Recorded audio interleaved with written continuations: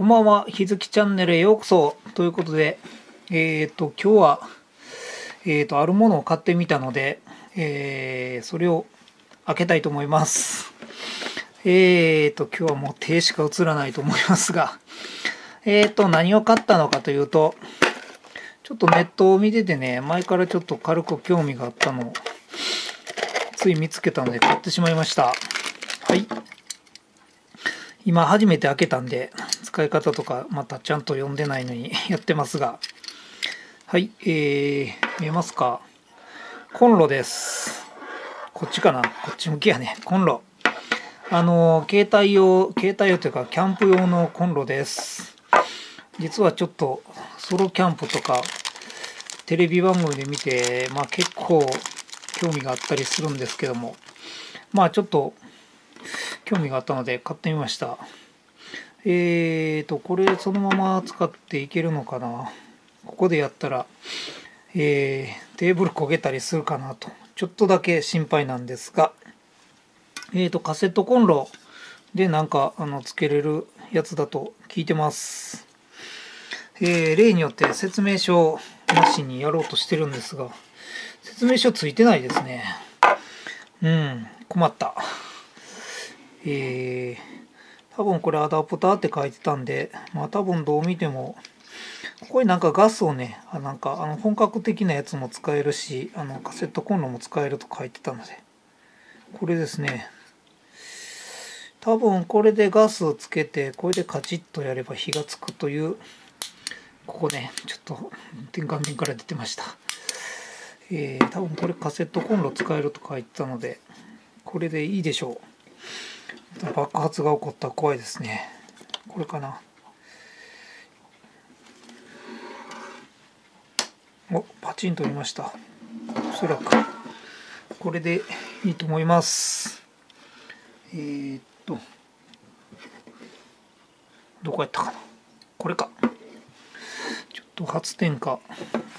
これ置かなあかんのかな。やって、あら、やばいやばい。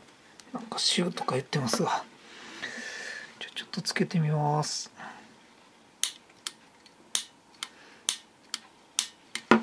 ん？何かが間違っているのか。待ってください。あ、わかった。これ火力調節って書いてましたから。きっとこれですね。これをひねると出るんでしょう。お、お、なんかシューと言ってる。お、ついた。ちょっと思った以上にでかい火が出ました。ああ、ちょっと一瞬びっくりしましたが、もうですね、あ火力調節できます。あ、これはなかなか良さげなコンロです。はい、ちょっと一旦消します。はい、消えました。うん、なかなか面白い。うん、ちょっとまあいつ使えるかそこがポイントですがちょっとなんか試しにやってみようかな。ということでちょっと準備します。はい、えー、ということで、えーたまたま家にあったオイルサーディン。ちょっとオイルサーディンというよりもなんか結構イワシの大きい感じがするんですがありましたのでこれをちょっと温めてみたいと思います。ちょっと結構さっきの火の勢いが怖いですが。あ出たちょっと。家の中ですがちょっとキャンプチックなイメージで。これはちょっとガスとか出てやばいのかな。まあカセットコンロですからね。えー、鍋の鍋するのと一緒かな。ということで、えーちょっと煮てみます。おなんか早速グツグツいってきましたが。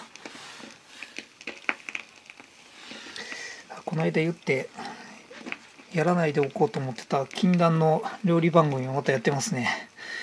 料理番組と言っていいのか分かりませんが、ちょっと火力強すぎるような気がしますね。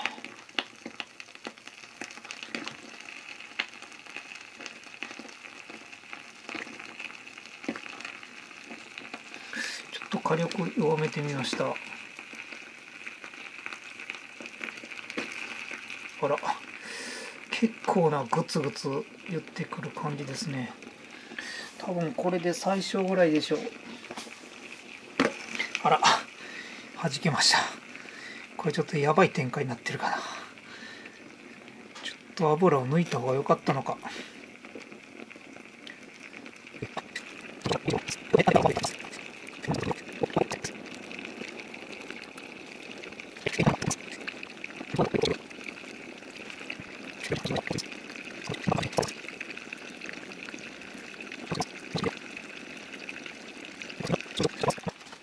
と落ち着いた感じになったのでちょっと食べてみましょう。ちょっとコンロから落ちたら怖いので。うん。煮えてます。うまい。うん。美味しい。はい。ということでできました。まあ家の中ですがキャンプ気分を味わいながら食べます。それではお付き合いいただきありがとうございます。それではまた。バイバイ。